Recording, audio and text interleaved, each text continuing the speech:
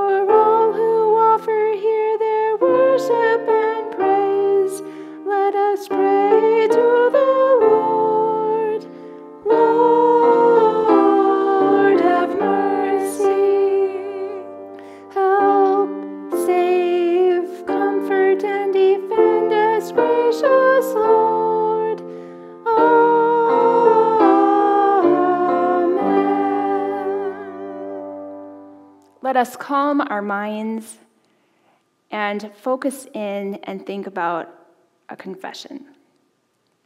God of all mercy and consolation, come to the help of your people, turning us from our sin to live for you alone. Give us the power of your Holy Spirit that we may confess our sin, receive your forgiveness, and grow into the fullness of Jesus Christ, our Savior and Lord. Amen. Let us confess our sin in the presence of God and of one another. Gracious God, have mercy on us. We confess that we have turned from you and given ourselves into the power of sin. We are truly sorry and humbly repent. In your compassion, forgive us our sins, known and unknown, things we have done and things we have failed to do. Turn to us again to you and uphold us by your Spirit, so that we may live and serve you in newness of life through Jesus Christ, our Savior and Lord. Amen. In the mercy of Almighty God, Jesus Christ was given to die for us. And for his sake, God forgives us all our sins. God, and by God's authority, he declares to you the entire forgiveness of all of your sins. In the name of the Father, and of the Son, and of the Holy Spirit. Amen. Glory to God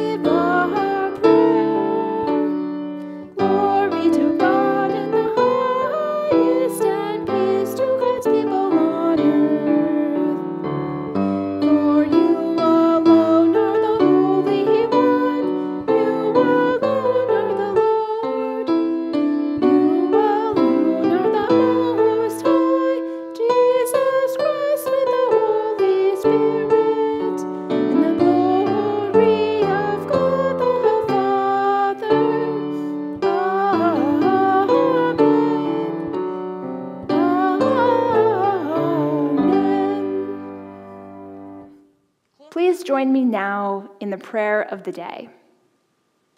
May we live a life worthy of the calling we have received. Like Paul, may we be the ones who urge others to live this way as well. May we be completely humble and gentle. Help us to be patient, bearing with others in love. May we make every effort to keep the unity of the Spirit through the bond of peace. Amen.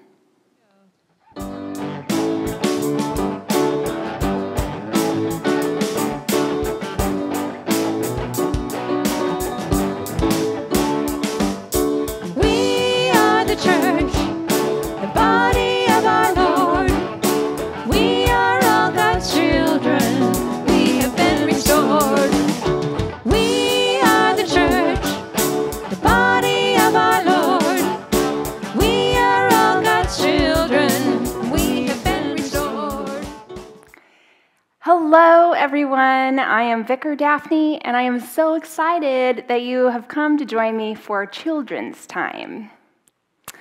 Um, so, in preparation, so come on, come closer to the screen, a little closer. We are here today to talk about unity and being one with our Lord. And um, also, just how one person plus one person plus one person equals many people, which make up God's church, right? Because God's church is, is it a building? No, it isn't. It is not a building. God's church is made up of the people, and the people like to be in a building. Now, I was thinking about finger plays, and I thought of one that I haven't done since I was a kid, and I thought I could do it for you, and then we could do it together. You put your hands together like this. Here is the church. Here's the steeple. We open the door, and we see all the people. Okay, now let's do it together. All right, we put them together like this. Here's the church. Here's the steeple open the doors, and see all the people, right? So some churches have a steeple, some don't, but all churches are made of people, right? Because God's church is and are the people, not the building. Are you a child of God? You are, and I am too. This baby, we can pretend is real, we can pretend this baby is also a child of God. Baby dolls usually aren't, but we are going to pretend today. So, all children, all people are God's children, and we are all part of God's family. And we are all part of God's church. And God has given all of us many gifts. Our last part of the scripture says, But each of us was given grace according to measure of Christ's gift. Christ's gift one of the biggest gifts Christ has ever given us is the gift of life, right? And we have so many gifts that God has given us as individuals that we can share with one another. If we were all the same, life would be pretty boring because we'd all be doing the same things all the time. But luckily, we're all different, and we have so many different um, likes and interests and opportunities given to us. And we have uh, so much to offer the church and to each other.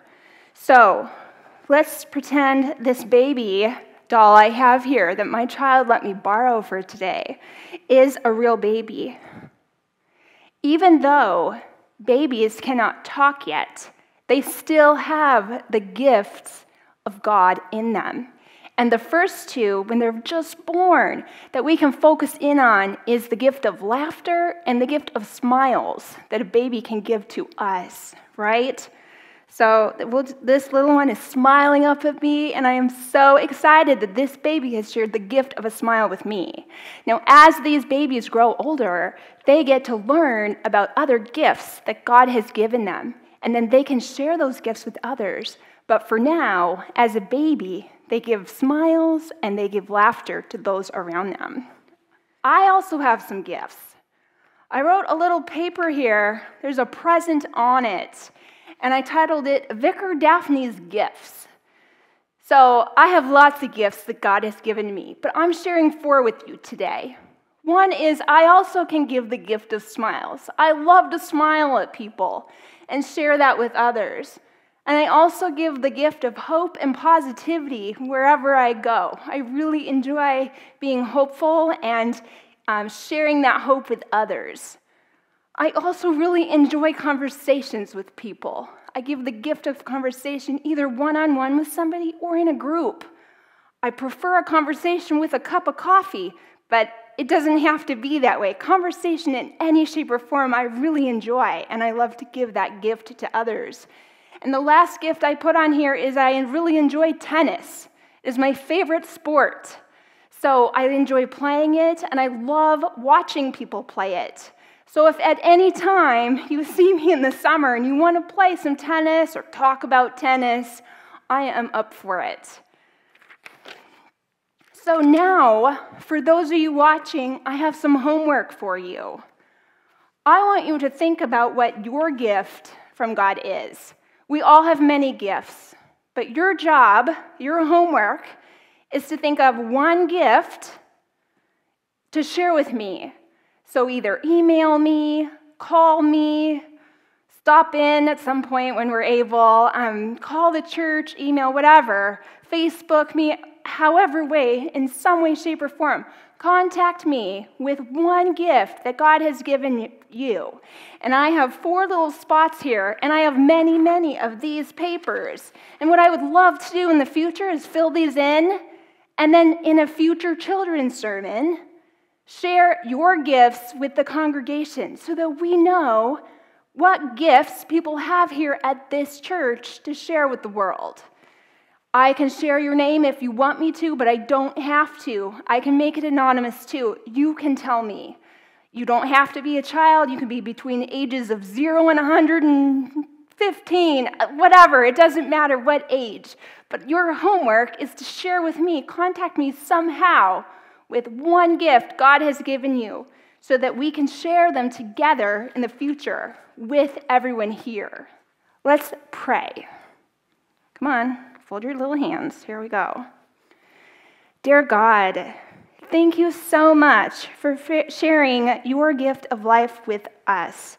We are so thankful to be a part of your family, and we are so thankful that church is not just a building, but it's all of us together as a family. Amen. Welcome to offering and announcements time. First of all, I just want to remind you that during the children's time, there was a little bit of homework. So please contact me with your gift that God has given you. I am so excited to receive those and then share them in the future with you guys.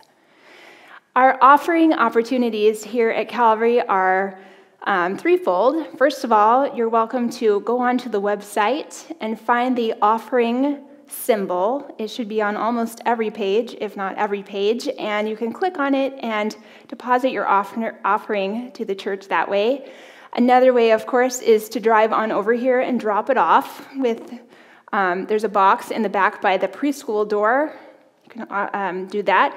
And the third option is to mail it in to Calvary. So, and also, fourth way is um, our drive in worship, this is also an announcement here. Our drive in worship this Sunday is right here at Calvary at 1 p.m. So you can also, at that time, bring your offering with you and give it to somebody at the drive in worship.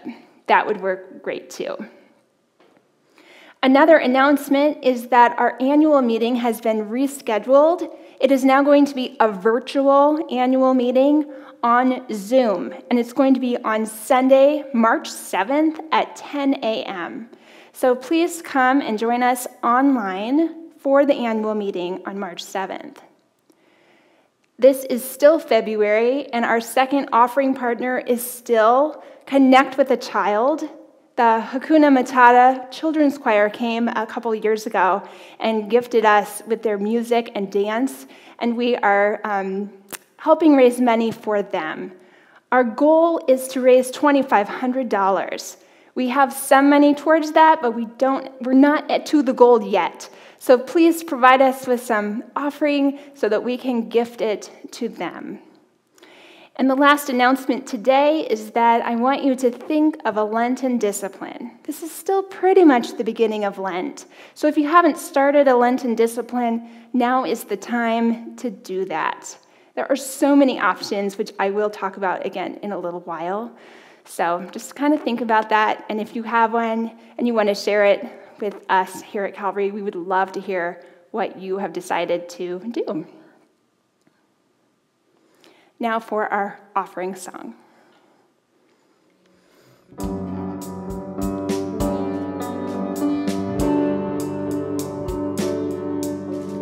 All that we have and all that we offer comes from a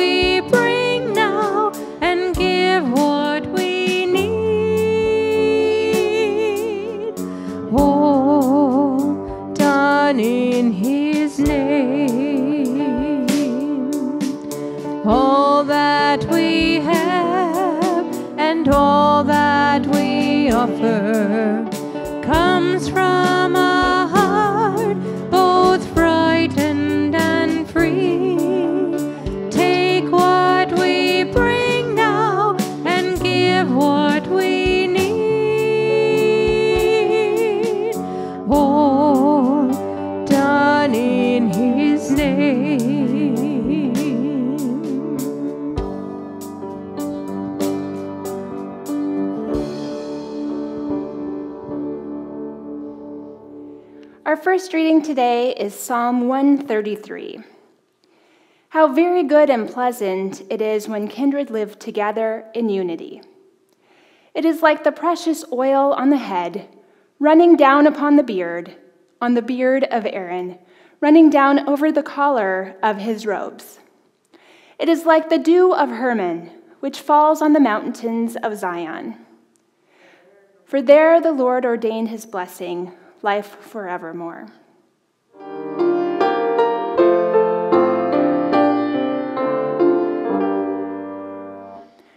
Your steadfast love come to us, O Lord.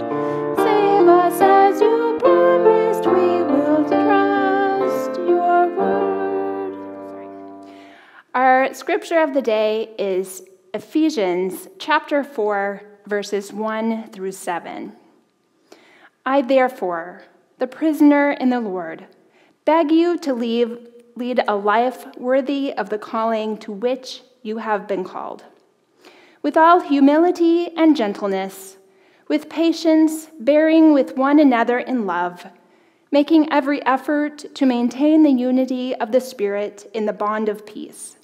There is one body and one Spirit, just as you were called to the one hope of your calling one Lord, one faith, one baptism, one God and Father of all, who is above all and through all and in all. But each of us was given grace according to the measure of Christ's gift. This ends the reading.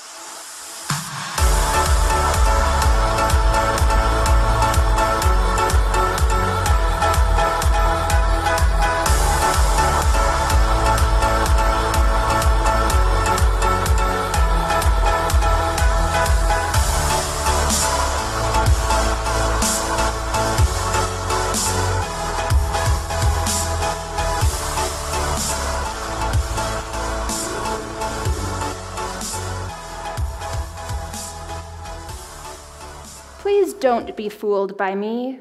Don't be fooled by the face you see. This is not my face. This is merely a mask. I wear a thousand masks, masks that I am afraid to take off, because none of them are truly me. You see, Pretending is an art that is second nature to me. The lines between life and lies is too blurry to see, but please don't be fooled by me. For God's sake, don't be fooled by me. I give you the impression that everything is okay, that I'm poised, secure, and that all is sunny and calm, inside and outside of me. That confidence is my name, coolness my game, that the water is calm and I'm in command, and that I need no one. But don't believe me, please don't believe me. I'm drowning in the sea of pretending, kicking like hell beneath the surface of the water, just trying to survive. Sure, my surface may be smooth, but my surface is a mask, my ever varying and ever concealing mask. Beneath it dwells the real me, confused, lost, fearful, and lonely. Beneath lies my smugness, my complacency, my ugliness. But I cover this up. I do not, cannot let anyone know. I panic at the thought of my weaknesses and fear of being exposed. That's why I frantically created these masks to hide behind nonchalant, sophisticated disguises to help me hide, to shield me from the glance that knows. But such a glance is precisely my freedom, my only freedom. And I know it. That is, if that glance of knowing is followed by acceptance and love and forgiveness. That's the only thing that can liberate me from myself, my masks, my self erected prison walls and barriers that I so painstakingly built. It's the only thing that will assure me of what I cannot assure myself that I really am worthwhile. This is the beginning of a poem called Don't Be Fooled by Me by Charles C. Finn and revised by Pastor Nate Bendorf. Our scripture today is from a letter written by the Apostle Paul to the Ephesian people. It's also the Lent scripture that we, as the Church of Calvary, are asked to memorize and to ponder. It starts out with Paul saying, I therefore, the prisoner in the Lord, beg you to lead a life worthy of the calling to which you have been called. It's like Paul is begging these people to take their masks off. Paul is saying, I see you. I see the confused and lonely you. Please come out from behind that mask. Please come out and face our Lord. Be the worthy person that we know, that God knows, that I know you are and face the calling that God has given you. When you read this text in the original Greek, you see that it implies an urgency in Paul's message. It is like Paul is saying, Do it now and mean it. God calls all of us with humility and gentleness. God calls us with patience and love. God calls us as individuals, but also as a unified group. We together are God's family. We together are God's church. As you know, we are now in the season of Lent, and our theme is unity. How can we as individuals come together as a community, as a family of God, despite our differences, and become a unified group of people in faith. A week ago, it was Ash Wednesday, the very first day of Lent, a time when we have ashes written on our foreheads in the sign of a cross to help us remember that we started out as dust, and someday, someday, will become dust once again. And the sign of the cross is a reminder to us that we are on the ground of Jesus' cross. Imagine standing there for a minute, the, the dust on your feet, right? Below the dirt. Imagine looking up at the giant cross that is billowing overhead. Can you feel, feel the vulnerability? Can you feel the insecurity? Can you feel the need to be saved? Come, Jesus, come. Lent is a time in the church year where we are asked to take a personal look at our lives. Individually, we are to ask ourselves, how can we, how can I become closer to God? What path can I take to focus more attention on God? What do I need to do knowing I'm going to mess up again and again, knowing you're going to mess up again and again? What do we need to do to make sure that God is our first priority in our lives each and every day? Maybe you'll read a devotion every day. Maybe you'll read the Universal Christ book every day and reflect along with the New Calvary podcast and Zoom discussions. Maybe you'll give something up. There are endless ways to become closer to God. So take a moment and think about it. What is God calling you to do to get closer to, to Him? And I mean, really, why do we do this? Because God loves us, God cares for us, God believes that we are important God knows that we all are worthy. And we are safe, safe when we are in God's arms, and we are safe when we are together in God's house. Our bishop here in the Northwest Minnesota Synod last week for Ash Wednesday had this beautiful message. His name is Bishop Bill Tesch. I'm going to read part of his message because I thought it was just beautiful. Our place of safety is our admission of vulnerability, our need for God, our solemn acquiescence to the reminder you are dust, and to dust you shall return. This is where we find common cause with one another. Here we have unity. We are, all of us, broken but beloved sinners in daily need of the healing grace that we have through Jesus Christ, our Lord.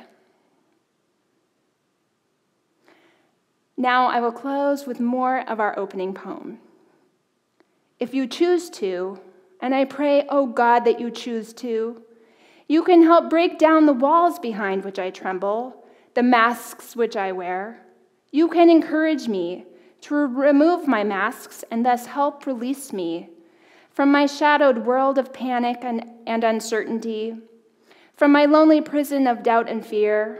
So do not pass me by. Please do not be fooled by me. It will not be easy.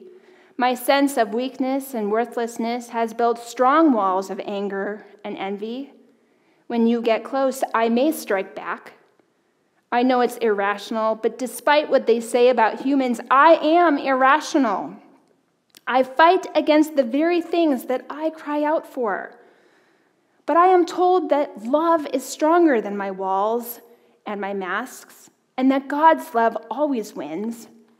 So please don't be fooled by me. For who am I, you wonder? I am someone you know all too well. I am you, and I am me.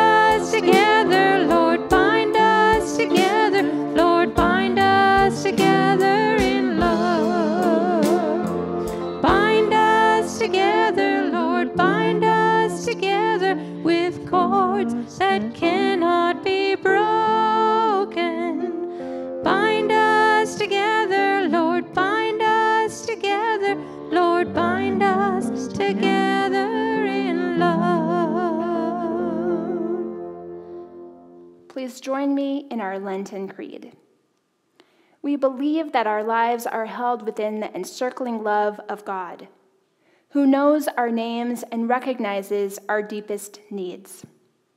We believe that Christ is the divine child of the living God, and that his grace is like living waters that can never be exhausted. We believe in the birthing, renewing, enabling spirit of God who yearns over our welfare as a mother yearns for her child. We believe that God is in the arid desert as well as in green pastures, and that hard times and disciplines are also loving gifts. We believe that our journey has a purpose and a destination, and that our path leads to a human glory we cannot yet imagine. We believe that in the church we are fellow pilgrims on the road, and that we are called to love one another as God loves us. This is our faith, and we are humbled to profound. We are humbled to profess in Jesus the Christ. Amen.